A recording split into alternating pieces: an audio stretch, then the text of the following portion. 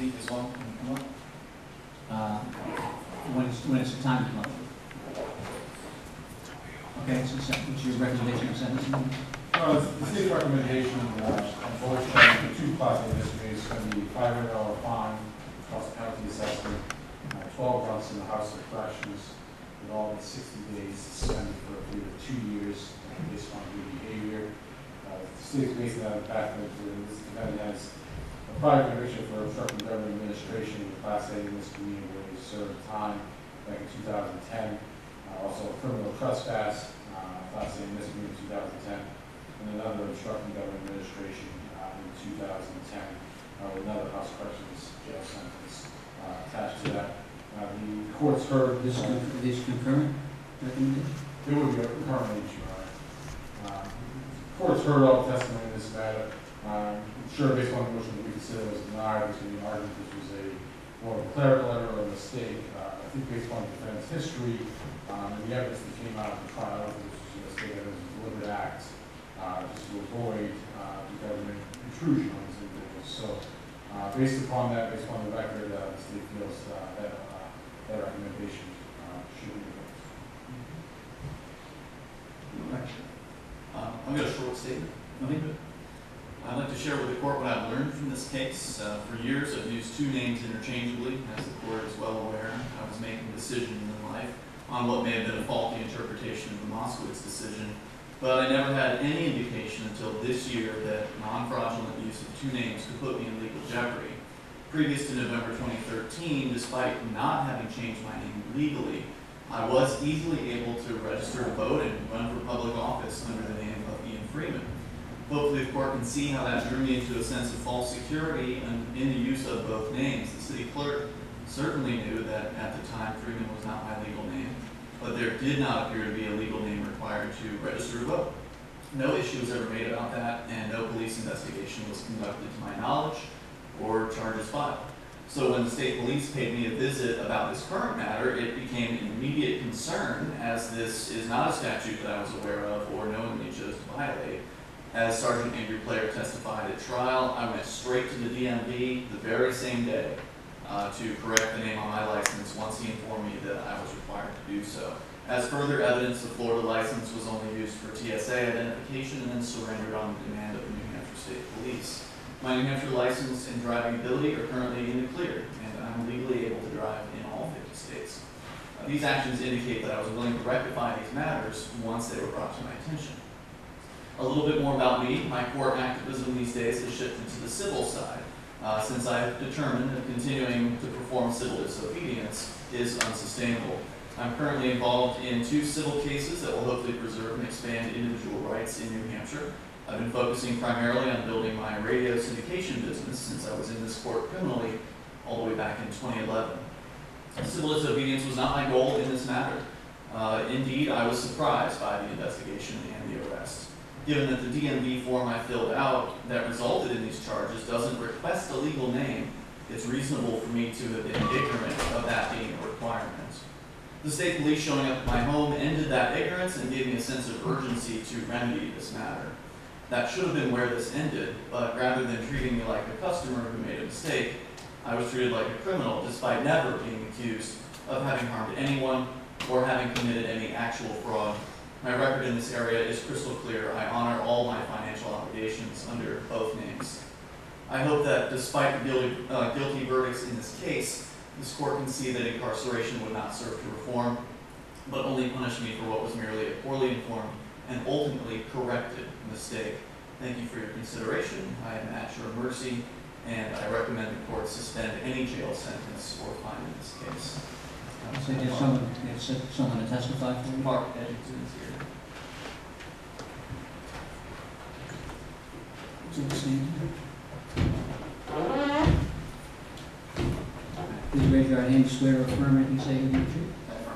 That's it, Could you swear in for me? I'm sorry, what's that, sir? Just swear in E D G is I N G T O N. And Is they this for are- amplification or just recording? You don't have to give full. Uh, it does amplify a bit, but also records. Thanks So so much. is it M-A-R-K or C? M-A-R-K or C? It's K. Right. Did you have any questions you wanted to ask? him? But no, he's, uh, I think he's gonna get the state statement. Okay, speaking, and you're speaking as to sentencing, that's, that's the purpose of Correct. this, okay? Understood. Okay. Yeah, I wasn't, um, I, I don't, I'm not in possession of all the facts, I didn't come to the trial. Okay, My, um, you know, I talked to Ian about it, we didn't take this terribly seriously. Honestly, he did not, I mean, you know, as he testified here, he did not really could you tell, could you tell me something about who you are? Sure. Um, I'm Ian's business partner. I'm probably the um, person who knows his personality best on the planet. He uh, moved out of his parents' house at like 18, so um, you know he's been on his own. I've been working with him for 12 years, so I think that I can speak to his personality better than most. There's parts of it I like, and parts that I don't. Um, so we spoke about this, and I can testify. Um, in all honesty, he, honesty, he really didn't expect this to go anywhere. He thought it was a uh, you know, case the state police were taking against him, uh, just sort of out of uh, malice, and um, didn't expect it to be found guilty. Um, he wants, of course, to change his name. This court knows that. He's been doing this for the course of six years or something. Somehow I can have a fake name and you know go through life just fine, but for Ian, it ends up in jail.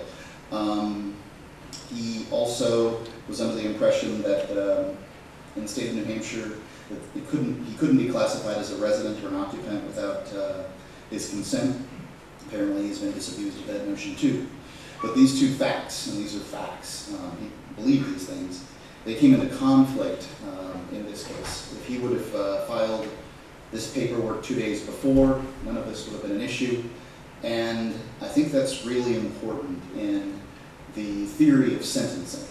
I've got a six-year-old, and if I find him doing something he doesn't, isn't supposed to do, and he doesn't know that it's not something he's supposed to do, I don't punish him harshly over it, I correct him. Um, usually, with six-year-old, I correct him several times, but, you know, in this case, we're only talking about one correction. He, um, I don't think Ian's going to learn anything from a harsh sentence here, sixty days is, uh, is pretty tough which really brings me to my main reason for coming. Um, I'm not here testifying for other people who are getting sentences. I'm only testifying for Ian because, well, it's going to be hardship for me in my business. Ian works for me. Um, he is the affiliate relations guy for my show. He makes telephone calls daily, getting out uh, to get Free Talk Live on radio stations. He, the last time he went to jail, which was 2010, I think, something like that. Uh, it was it was tough. Uh, I had to hire somebody to do it, and they didn't they didn't produce. So it's going to be difficult on me if this occurs. He has two passions in life. He is unlike most people. Uh, family, friends, these things don't concern him. He's worried about liberty activism and my radio program. And I want to make it clear that uh, my influence on Ian shouldn't be underestimated. You've noticed he hasn't sat on any police cars recently. He, um, you know, his civil disobedience has come to a most mostly a halt. He's certainly involved in uh, court action, but I think that that's probably something that we would expect from uh, an activist like him. So I'm of the opinion that a, uh, a sentence of jail isn't going to be particularly valuable in teaching him anything, and um, you know, that's that's my. Okay. Um, you know, maybe something else. All right, uh, any questions for us? Any? Okay, thank you. I'm did you want to ask him anything? Oh, that's, that's fine. Thanks.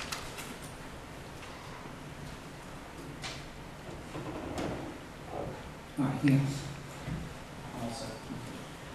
All right, the court did uh, find you guilty uh, based on the facts and thought the case was uh, well tried on both sides, but uh, the facts uh, just weren't in your favor here. Uh, This was nothing if not plain dumb on your part. Um, This was, I can't, the court can't ignore the fact that you'd been at the DMV the day before, purporting to uh, register under your new name, you came back the very next day, you went ahead and did something that, that was wrong, it was illegal, I found you guilty of both those things, but um, I'm not sure that this particular case requires a jail sentence. Um, I think the twelve months is appropriate, given your prior record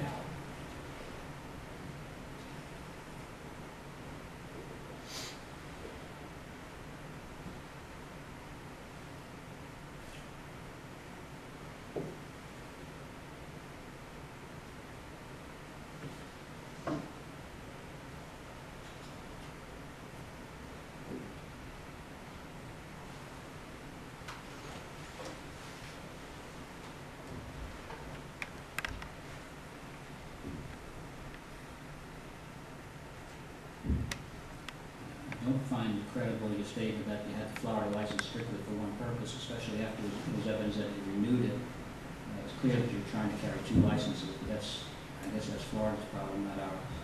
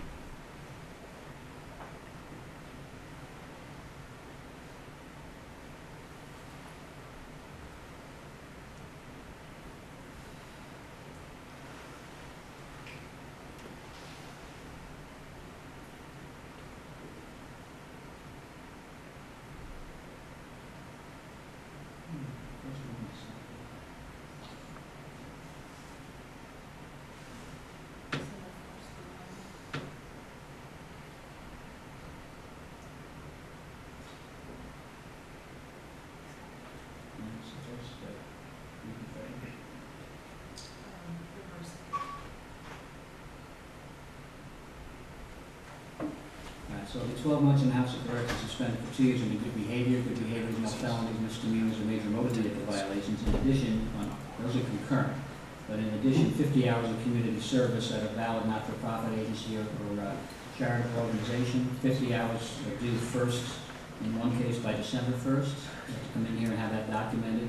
I know there's some controversy about whether or not uh, your own agency or the Leverett Street address is a not-for-profit. I'm not gonna accept Well, I that.